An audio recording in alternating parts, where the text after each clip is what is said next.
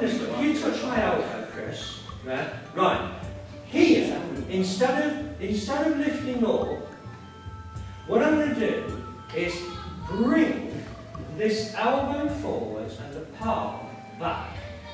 Now Chris is going to put the press on. There. Right? So that's the move breaking it down. Here, the reason he's going to do a press is I'm trying to push in. Now that's it, you're trying to stop it.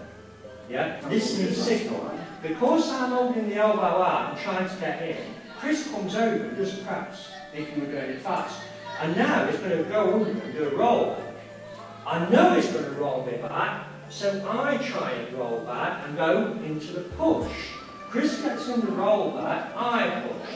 I get in the press, you push.